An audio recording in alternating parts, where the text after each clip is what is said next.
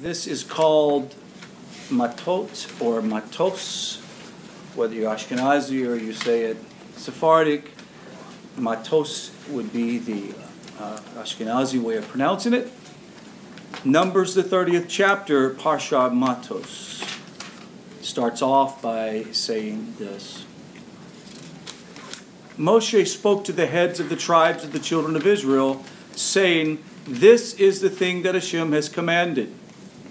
If a man will take a vow to Hashem or swear an oath to establish a prohibition upon himself, he shall not desecrate his word according to whatever comes out of his mouth, he shall do.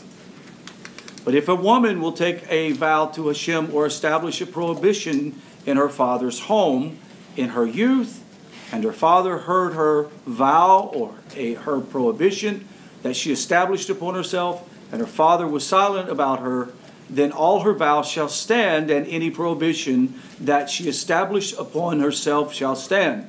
But if her father restrains, restrained her on the day of his hearing all her vows or prohibitions that she established upon herself shall not stand, and Hashem will forgive her, for her father had restrained her. If she shall be married to a man and her vow uh, where uh, her vows were upon her, or an utterance of her lips by which she had prohibited something upon herself, and her husband heard, on the day of his hearing he was silent about her, then her vow shall stand, and her prohibitions she uh, that she established upon herself shall stand.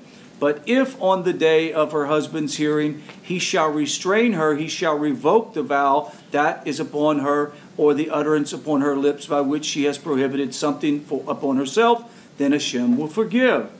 A vow of a widow or a divorcee, anything she has prohibited upon herself shall remain upon her. This continues on, and we'll actually continue on with more of the text about the vow. But what we're going to discover about the significance of a vow and why is it here in this text at this time? Did not the people of God know what a vow was? Of course they knew what a vow was all about. This is really this is not about making a promise. Okay? This is not about saying I promise to do this or that or you know, I you know, I want to I want to quit eating I don't know, french fries. right?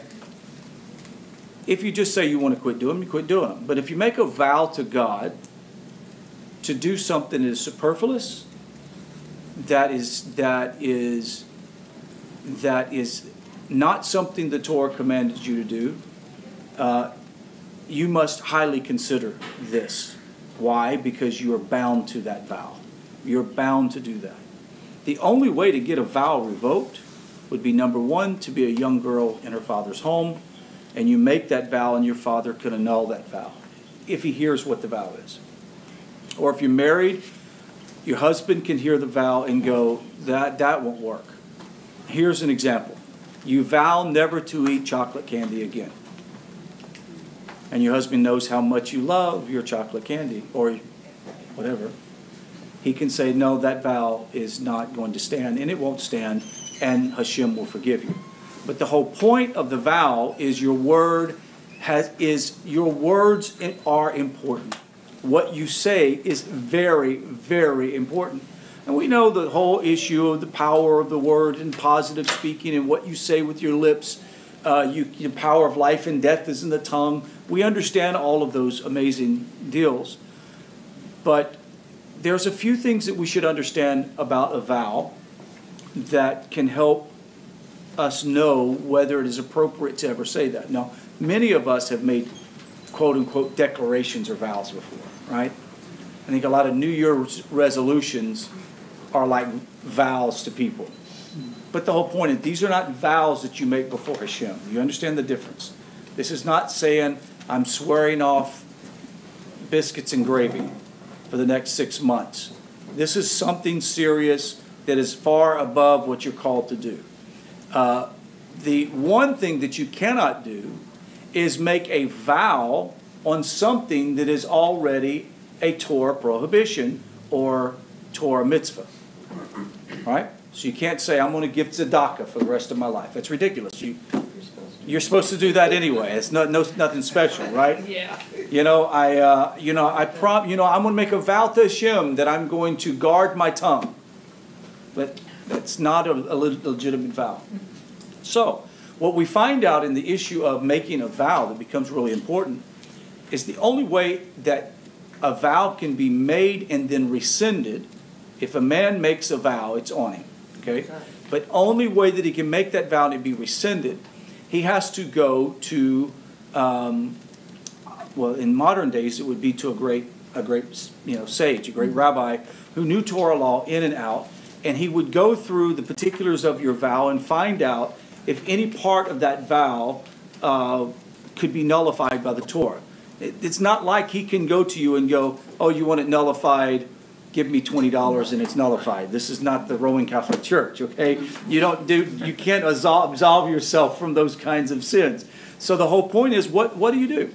You go to him, he searches Torah law. So for example, you say, uh, you know, I've made a vow toward Hashem. I have, uh, I have a, you know, difficult time with my desire, and uh, I really like to eat a lot and I want to beg off all fatty foods. Well, right off the bat, you know what he's going to tell you. What? Doesn't count. Right. Right? It doesn't count because you already are required to eat kosher and, you know, he could nullify that. At the same time, you could go to him and make a vow that he cannot nullify and you have to see it through. If you don't see it through, then it becomes a sin to you. Why is that important? Hashem wants you to do what He asked you to do. He didn't ask you to add your own Torah on top of it. The whole part of this is sure. One would ask, well, Rod, what is the difference between one who vows a vow and one who uh, is um, chassidut, uh, one who goes the extra mile, who lives at such a high level of, of restraint, and where Torah says that you know you, you get up and you pray, uh, you do your obligation of prayers twice, three times a day. But this person says, for you know, my rest of my life, I'm going to do two hours of personal prayer. Very important to them. They can do that. The difference is, is he's not made a vow to Hashem, but at the same time, even if he did, I'm not sure that it, it's, it's be expected of you in some ways to be a, a a righteous person to pray. But at the same time, a uh, person that is a um, chassid, and when we say a, a chassid, we're not just talking about men with fur hats and pyotes that walk around uh, Brooklyn and, and Jerusalem. Israel. Right, Israel. what is a chassid? One, according to Torah, is one who says, This is what your requirements are. Here's the parameter of your requirements. I'm aware of the parameter of my requirements. I do these things. But up on top of that, I will add other levels of observance that I realize are not required of me. But this is the lifestyle that I feel that I'm called to do. That is not a vow. Do you understand the difference? Mm-hmm. In many ways, a B'nai Noach does similar things. Uh, almost like a B'nai Noach, at some point of their fervor and their love for Hashem, draws down um, chassidut, you know, the uh, extra requirements upon themselves or stringent things upon themselves that are not required of them, and they're fully aware they're not required of them. But they feel like, you know what, I want to, I want to do this. I want to pray three times a day. I want to, you know, go through the whole process of adding on these different things. There's nothing wrong with that. That's not a vow. The whole issue issue is when we vow something to God that puts a permanent restriction upon you and obligates you, then it becomes a sin if you don't. Why is that important? Because Hashem, Hashem says it's already going to be difficult for you in your life if you don't follow what I've given you and it becomes a sin. Why add things to your life that otherwise is not a sin? Why add those things? So therefore, a vow should really be something that is not spoken. You shouldn't speak a vow to Hashem uh, unless you know for sure that it's the proper thing. And I would say that if you're going to make a vow, you need to do a consultation first before you make that vow. And that would be very important. So you know you cannot say a vow that, all, like for example, if you've B'nai Noach, you're going to say, I make a vow that I'm going to follow the, the seven uh, Sheva mitzvot, the seven Noahide laws. You go, it's not, it's not a vow. You're expected to do that, right? So the whole point is, is be careful what you say, be careful what you do. Why is that important? Right after the incident with Pinchas, there was there was there was a ma- it was shocked the camp what took place. So many died because someone else decided to justify their adulterous or sexual promiscuity. They justified it with, uh, with their humanistic logic. In a way, they made their own Torah by saying, Moshe, Moshe married a, a, a Midianite. What, what's the problem here? A Moabite, I mean. Moshe married a Moabite. What, what's the problem? I don't see what the issue is. They made their own Torah. But that was bordering on character assassination. as Well, a- absolutely. But the whole point is, is we know a lot of people that make their own Torah. I mean, most world religions make their own Torah, right? I mean, we all know that. They make restrictions on you that is not found anywhere in the Tanakh. Nowhere in the Tanakh. Right? And some of you guys have been born and raised and gone to different types of religious denominations. You remember the restrictions they put upon you. No alcohol if you're Muslim or Southern Baptist. Uh, uh, you know where Baptists don't uh, don't recognize each other, right? Bar. Liquor store. Anyway, it's Probably old. true. It, it'll work sometimes. Anyway, um, the whole point is is that uh, there.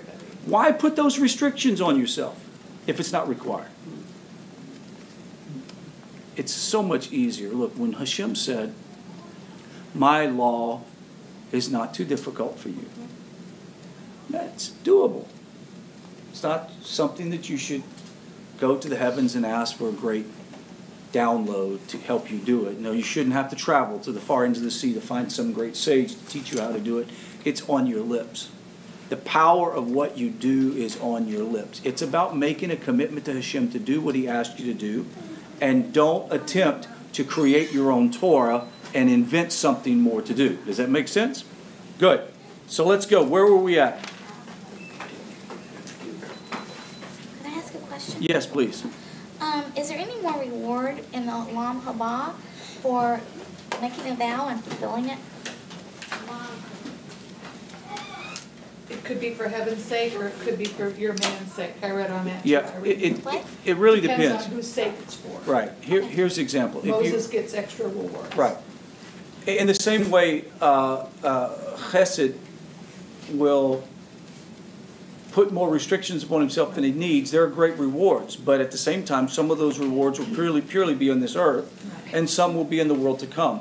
Uh, here's some practical. I'm trying to think of a practical example of a difference between a a extra extra vows or extra things that you put on yourself that are a benefit to the earth. For example, uh, the extra vow to do tzedakah would be both, because now I'm giving more money than is required, and it benefits a lot more people, and a lot more light spreads, a lot of more individuals begin to be infected, uh, affected by it, and at the same time, in the heavens, I'm depositing great treasure on my own, great reward. But So that that's can't it. be a vow.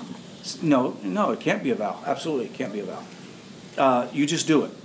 You just do the extra, go the extra mile. So, at the same time, you can have a vow that is not specific in the Torah for you.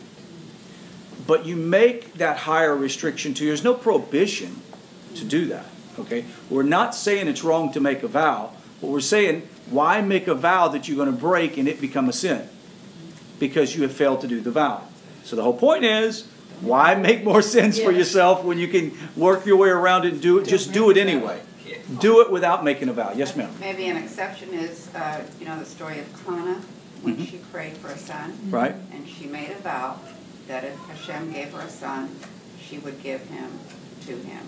Correct. Exactly. And, and that's, that's what happened. She fulfilled her vow. Right. And look what her son did. Absolutely. Yes. Let's look at uh, another example, which is not a good one.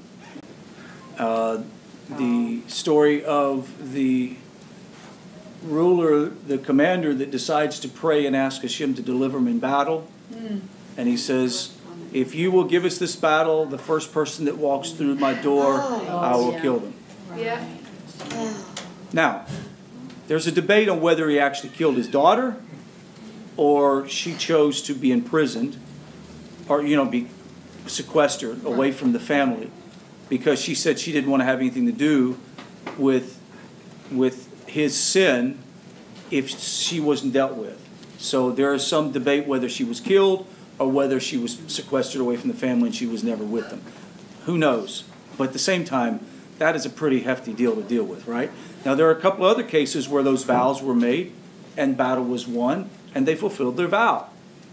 But you don't, I mean, listen, we, those people go to combat, we've always heard about there's no such thing as a foxhole atheist, right? How many people have you heard been in a very dangerous situation and they promised God the world? The greatest one that I remember comes from a movie called The End. Is that what it is? Dom DeLuise and Burt Reynolds.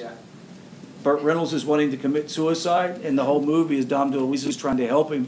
And in his inept comedic style, it is a very funny movie. But in the very end, Dom DeLuise decides he's going to swim out into the ocean and commit suicide. So he gets way out there and he realizes now he's drowning and he doesn't want to drown. So he's swimming back and it's horrible. He's like coughing water and drinking salt water. He's like, Oh God, if you'll help me, I'll do anything you want me to do. Just save my life. I'll do anything. I'll give you all of my money. I'll, whatever I have, I'll give it to you. And he's getting close to the beach. And the closer he gets, it goes from uh, I'll give you everything to 80% to 70%. And then when he got to shore, he says, I'll try to remember to go to church. right. Right? That's how we are. That's how we are as human beings. So it's this is Hashem's loving kindness to say, why, why create an environment where you're going to commit a sin? Just do what you're supposed to do. Be a person of your word. Do what you're going to do. Don't you know? Listen, we're we're in a world right now that is so consumed with uh, with useless words. Right? We love useless words. Advertisements that that says this makeup will make you ageless. You and I both know it's a lie right? You still, if you have wrinkles when you get it, it'll just be wrinkles with stuff in it. right? And we all know that. And we still buy the products because we think, it, I just want to be ageless. right? And guys will color their beards because it makes them younger. But you know, it's you're not your back still hurts when you get out of bed. Right? So it doesn't make you younger. But we like useless words because it feeds our yetzer hara. It feeds our, our desirable inclination. And so if we're not careful, we can become just like our society. We just make promises to God that we never intend on keeping. And we're compiling, compiling sin in our life because it's as if you're taking and creating a Torah prohibition and mm. putting it upon yourself. So we understand that. Did we clear that up? Okay, let's go to um, someone read for me. Um, Eleven. verse 11. Read loud. But if she vowed in her husband's home, or she established a prohibition upon herself through an oath, and her husband heard about it and was silent about her, he did not restrain her, then all her vows shall stand, and any prohibition she established upon herself shall stand. But if her husband shall revoke them on the day of his hearing, anything that came out of her mouth regarding her oaths or the prohibition upon herself shall not stand. Her husband had revoked them, and Hashem will forgive her. Any vow and any oath prohibition to cause personal affliction, her husband may let it stand, and her husband may revoke it. If her husband shall be silent about her from day to day, he will have let stand all her vows. Or all the prohibitions that are upon her, he will have let them stand, for he was silent about her on the day of his hearing. But if she, he shall revoke them after his having heard, he shall bear her iniquity. Okay, let's stop. So basically, there is a, there's a hierarchy that begins at the beginning. First, Moshe is told to uh, gather, uh, one translation says the governors or the rulers or the, the chieftains to tell them these things. And it was to be passed down to the children of Israel. And as it filters down, then it becomes not only each tribal member's responsibility, it becomes each family head's responsibility, it becomes the husband's responsibility to his wife and children. And if he hears her make this vow and he doesn't say anything, he just keeps silent, like, eh, uh, whatever. But later on, we see negative results come about from it, and then he tries to revoke it, then he is the one that is responsible, and he is the one that has to go present offerings for unintentional sin. Does it make sense? So, big responsibility. And that's why I have to say, um, and in no way am, am I trying to be comedic, because this is not very funny in a very, what do you call it, sex, sens- sex, uh, uh, sensitive world. When I'm talking about sex, I'm not talking about the act, I'm talking about male and female. The idea that your husband, even, even a husband that may not be as observant, uh, listen to him. It's important. Okay? Now, sometimes we, you know, say things that you guys think that we're crazy, but it's important to test and make sure that what you're doing is balanced. At the same time, I would say husbands, now we all know to listen to our wives, so I don't even have to say that. Oh, excuse me. No, we do. Well, your husband, but your husband isn't part of the community, so we know that he's, he's not gonna get it. Our husbands listen to their wives, right, men? Oh, yeah. But can I No, say something? yes. A woman would do a vow, and this is why I was reading Greenbaum and a couple other Mm-hmm. rabbis. A woman will make a vow with her heart. Right, A man makes it with his mind. right. so that he can tell why the woman shouldn't do what her heart wants to do. Right. Like, you want to starve yourself, and she is, she has to have babies. Right. You know what I mean? So she can't do without vitamin C, or she can't do that for the reproduction of the world. Right. So that's what I think is good. No, absolutely. We have to listen to what a man says, because they always think, but they're not sensitive about the thinking, so. Yeah, and I think that the reason. Hashem balances everything out. Yeah, one- more emotional. Yeah, one of the, one of the things that we could do is sort of a Musar moment, you know, so ethical moment of how we live our spiritual lives is, that's one of the major reasons of the conflict between a man and a woman in a marriage, is sometimes he's going through a logical process, and our spouses, the females are going through an emotional process, and they don't always mix. And what appears to the man is that the woman is being irrational. Or emotional. It's not Right. about the nail. Huh? It's not about the nail. If you haven't seen the video on YouTube, it's not about the nail.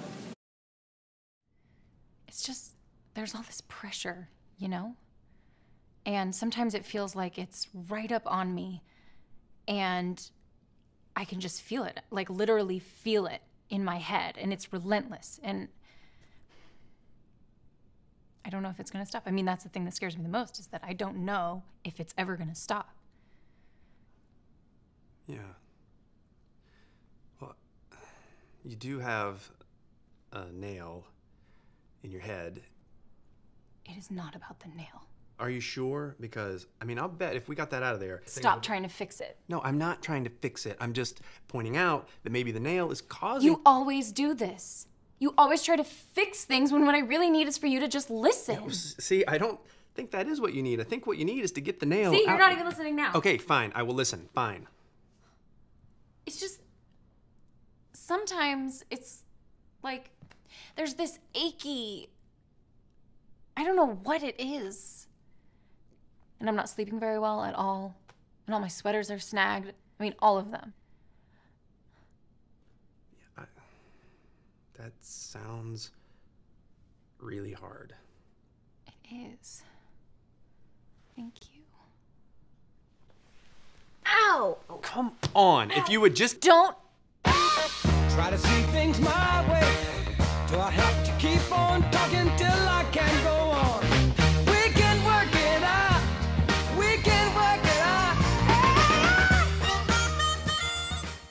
Yeah, so the man looks at the woman and says, "You're being irrational or emotional," and the woman thinks the man is is not understanding what she's trying to say.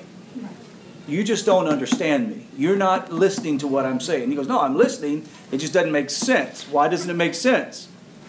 Because it's not following a logical process. We're not saying that women are not logical. Correct. Okay, women are very logical beings. You, you guys do amazing things in science and industry and medicine, etc. But the point is, it's not working in our noodles. Okay, men's logic does not work like women's logic.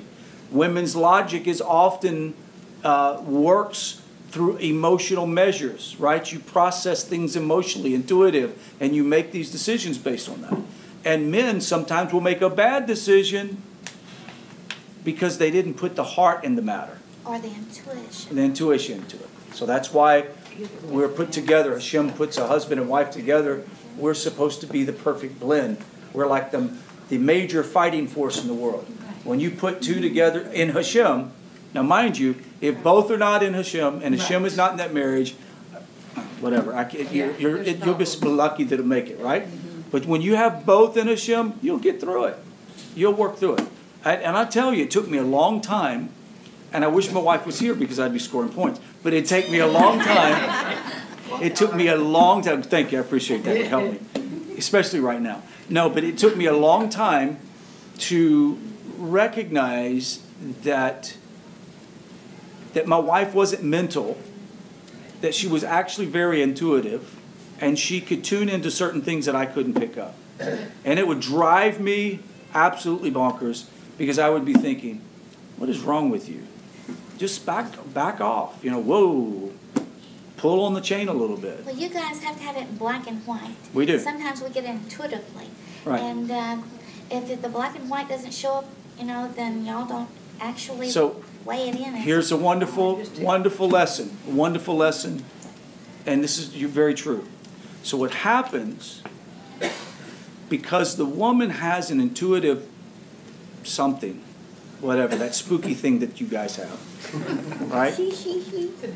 And, and you get it, you understand, and as the male, we quite, we don't see the logic because there, there, the intuitive part of that is missing in the logic. So we can go A, B, C, D, one, two, three, but in the mix that is the intuitive part. We're missing that. But the problem is, is most of the time the woman wants her husband to react emotionally Right. make an emotional decision. Do something now. Fix it now. Do this, do that. Right? And what ends up happening? The man gets frustrated, and either an argument ensues, or he goes out and does exactly what you tell him and make a mess of the whole thing. And when he comes back and make a mess, then your spouse will blame. The woman will say, "You made a mess of it because you're a man. If I would have handled it, it wouldn't have been handled that way." Right? Mm-hmm. And talk to me. Do you know that this is true? Absolutely, Or he comes in and says, you told me to do this, and it was a mess. Well, that's, it may have been, Could be. could be. So the Well, you whole didn't do point, it the way I wanted to. right, That's all the woman but that, says. yeah, the, the woman says, you just didn't do it the way I, I, I told you to do it, or I would want you to do it. So where, where you get healthy in your relationship is this, is to say, look, you, I, you might have a point. I'm gonna take time and process this, and I'm gonna go through it, and I'm gonna make a decision, and we'll do something about it. And then if you insist, or my wife would insist, no, you need to do something about this now, then I go, take care of it. Put the responsibility on her to make a mess of it. Now, if you don't trust me, that's the whole point. If you don't have trust in a marital relationship to where you say, I'm presenting this to you, I, my husband, you're, you are going through a logical process and you're not seeing this, and I'm showing it to you, then give him the time to process it. And at the same time, husbands, your wife's not mashugna. She, she's not crazy. Well, most of the time. She's not just picking. She's not crazy. You guys are crazy. You're amazing. Hashem's given you a wonderful gift. I, I wish we had it, but if we did, we wouldn't have to be, have a wife, would we? Anyway. We Betty? might be happier. yeah. Be in control of all the mitzvahs. and What I was gonna say is that, you know, God's name has the male and female aspects Right. of it. And so when we have a balance like that, we join them together. Right, absolutely. Into Echad, And that's, that's a balance. And that's beautiful. It is. We become like a big, huge battery, mm-hmm. Exactly. positive and negative flowing all the time. Mm-hmm. A lot more And, and the thing is, is that positive and negative, the, the way that works in a relationship, some are positive and some are negative. Sometimes you're positive and the other one's negative. And it's always, it's always gonna be the opposite. How long were you married before you realized you're completely opposite from your spouse? Didn't take many of us long to figure it out. Huh? Immediately, right? yeah. And it's funny, when I hear a young couple, when I hear a young couple, and all of us are a little bit older here, but when I hear a young couple say, oh, we just have so much in common. We do everything alike. Yeah, and I want to go, all right, hang in there, baby. You'll wake up one morning and realize that's not the case, right? And it's the blessing from God when you really listen to me. To me, a marriage in which your spouse is just like you is a disaster waiting to happen because you're both going to make a mess of your life. And we know that. We see people that end up following through these treks of life of absolute destruction because they're too much like themselves. And Baruch Hashem, I have a wife that is my balance. She is a beautiful balance in my life. I mean, look, we still get on each other's nerves. We don't, you know, she doesn't levitate. I don't float around the house, right? Uh, my wife is always up in the air harping about something, so I guess it makes her an angel. But anyway, she. Lost all your. Yeah, I know, I know. But the whole point is, is my wife says things to me, and it is, I now am at the place where I, I deeply appreciate them. It still makes me upset, right? That's our yetzer hara. Of You know, that course. we have to deal with. That's this. my inclination, my ego gets busted. Yeah, but we also way. learn a lot from each other. Absolutely, Oh, yeah. absolutely, We learn so much from each other. We learn a lot about each, about ourselves. too. So we're, so we're watching um, Fox News the other morning, and they said that the five or six things that men need to hear from their women, from their wives or girlfriends, or especially wives. And my wife and I are watching it, and I'm like, this is ridiculous. I mean, first of all, I would be asking you, what's wrong with you? If you started going, you're the most special man in the world. right? If she said that to me, I'm like, okay, did you like bring another dog to the house and I don't know you have it here? Right? Or say something like, you're so strong and capable, you can do anything. And I'm like, I would be insulted. I would feel like a two year old, right? But is that what men in this age, young men, are needing in a relationship? Yes. Oh my goodness. If that is the case, do you realize what's feeding our generation? Absolutely. Ego. Yep. Narcissism. Narcissism. I always have to have somebody feed my ego. Like, come on, grow up. Anyway, I had to go on my rant. Let's go on. Here we go. Uh, let's say, where are we at? Uh, any vow, we're in 14, right? Or no? Seventeen. Okay, go ahead. You want to read for me? Val? These are the decrees that Hashem commanded Moses between a man and his wife, between a father and his daughter in her youth, in her father's house. Okay, stop right there. We're not going to go into the second part because I want to save it for, um, for Wednesday's class. This is, um, the big battle. And, but let, let me, let me lead us into that with our closing. Um, this last few parshas have redemptive qualities in them that points to the time of the end of age in which Israel will have to uh, go through difficult times to enter into the land. And the one issue was dealing with those in the nations that want to curse you and obliterate you. That's Balaam and Balak, right? And then you have the sin that took place with the, the Moabite women, which is dealing with uh, dealing with humanistic logic and debasing Torah so that you can carry about your sinful nature. And then seeing vengeance and justice coming up. It's about also that others can curse you, uh, others cannot curse you. The nations can't curse Israel, but Israel or the Jewish people can curse themselves. How? By taking upon themselves idolatry and taking upon themselves uh, uh, things that are forbidden for them to do. The next layer that brings them up to a higher level is understanding that yes, it's it's um, it's a positive thing in which you would want to do more, but just do it. don't make a vow that creates more sin in your life. Be a person who's walking with holiness before Hashem and avoiding the sinful things in your life, avoiding sin in your life by not creating more sin in your life.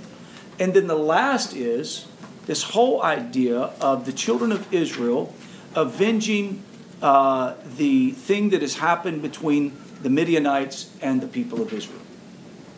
It's going to be an interesting battle takes place.